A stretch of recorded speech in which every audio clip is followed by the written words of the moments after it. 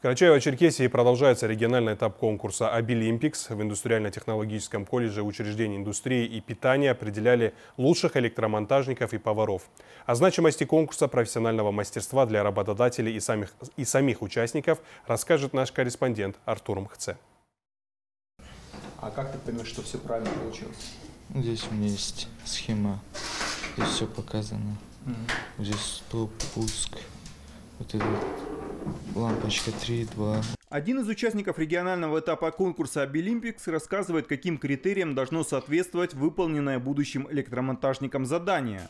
До общения с нами Магомед Хапчаев успешно с ним справлялся, и лишь временная остановка на интервью немного смутила студента индустриально-технологического колледжа – Впрочем, для этих ребят главное – конечный результат, по которому будут судить как члены жюри, так и потенциальные работодатели.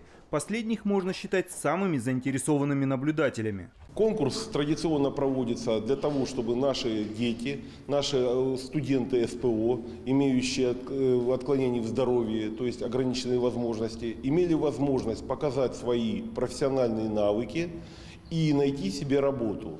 Примеров положительных множество, поскольку у наших студентов с ограниченными возможностями очень ярко выражена мотивация. Они все хотят быть э, полноценными членами нашего общества, работать, э, профессионально работать по своей профессии.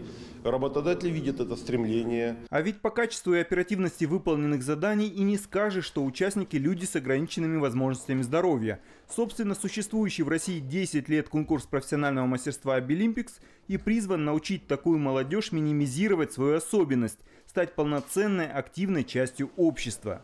Одновременно с электромонтажниками в другом микрорайоне города старт в состязаниях взяли будущие повара – к слову, кое-кто из конкурсантов уже совмещает с учебой работу. Так, этот молодой человек трудится в пункте общественного питания. Сегодня на чемпионате они готовят суп-пюре из овощей, но это по их желанию, из каких овощей они будут готовить. И готовят обязательно, значит, это у нас мясное блюдо с овощами, но из говядины. Вот авторское исполнение, вот что они придумали, как бы они его приготовили. Значит, они должны сами овощи нарезать, как им нравится, и из мяса приготовить блюдо, то, которое, как они видят, чтобы оно было подано. По словам членов жюри, окончательная оценка конкурсантов собирается из многих нюансов. Плюсами могут стать в том числе допустимая температура тарелки с блюдом, сервировка стола, опрятность участника, чистота на его рабочем месте. Но на окончательном вердикте, разумеется, скажется и то, насколько вкусным приготовленное сочтут эксперты. Артур Мхце, Мухаммед Ашабоков, Вести, Карачаево, Черкесия.